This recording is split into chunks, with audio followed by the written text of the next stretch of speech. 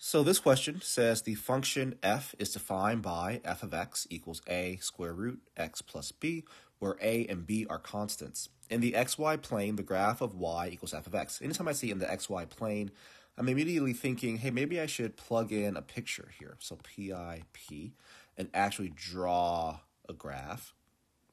Um, and let's see, what do we know about this graph? So we know that it passes through the point negative 24, 0. So if this were negative 24, we'd have a point right there at negative 24, 0.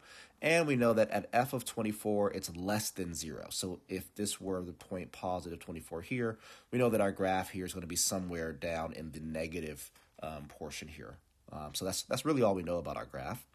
And then we see the question says, which of the following must be true? Okay, so must be true is very important. That means not could be true, but has to be true. So let's think about this from the graph standpoint. Does it have to be true that f of 0 equals 24? So that would be here. Does it have to be true that our graph is there, given what we see visually here?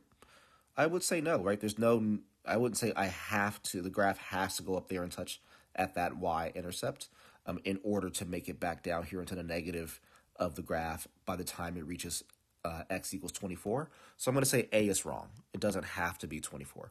How about choice B? f of 0 equals negative 24. So that takes us down here to negative 24 on the y-axis.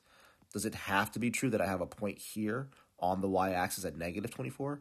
Um, no, there's no reason. There's nothing here provided in the visual that I have that would make that true, so that's gone. Okay, how about choice C? A is greater than B.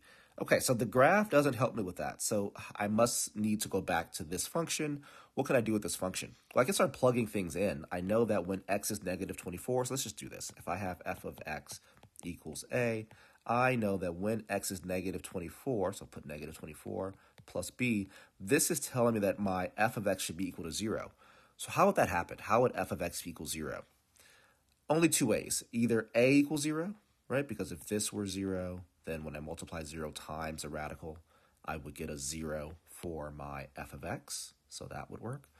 And another way would be if b equaled 24, right? Because then I'd have negative 24 plus 24 here, and that would be 0, and I would just go the reverse. If that's 0, then 0 times a is 0. So these are my two options based upon that.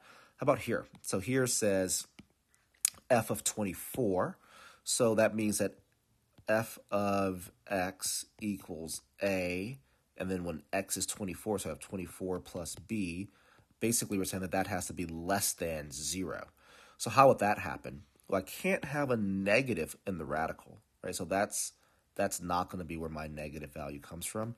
My negative value must only come from the a value here. And again, I'm saying negative because that's what less than zero means. If you're less than zero, it means you're negative. So that tells me that my A must be less than zero. That's the only way to make this statement true. If A is negative, then yeah, right? When I multiply it by whatever the square root of 24 plus B is, which we know will be positive, then overall we'll have a negative value. So now I have some I have some conflicting information because here I have as a possibility A equals zero. Here I have as a requirement, A is less than zero. So I'm going to go with the requirement versus the possibility. So I'm going to cross out A equals zero.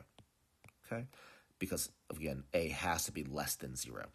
So then here's what I have. I know that B is equal to 24, and I know that A is less than zero. So that means I know that my function, f of x, is equal to A square root x.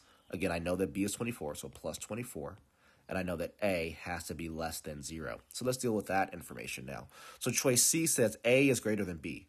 Well, I know that A is negative, and I know B is positive 24. So no, A is not greater than B, so that's gone. And then choice D, A is less than B. Well, yeah, I know that A is negative, right, from here. And I know B is equal to 24 from here. So definitely A is less than B. So there's my, you know, that must be true. There's no doubt about it. There's no question about it. A has to be less than B. So that's the right answer. I think also we could have used Desmos here just as, you know, a way to save some time and plug this in with a slider on A. But, you know, we would have still had to do some work here to figure out that B is 24. And with that information, I think you would then be able to figure out and really and knowing a is less than zero even, right? So I'm not sure how much time actually this would save you, but it would give you a visual on the A answer choice A and answer choice B here.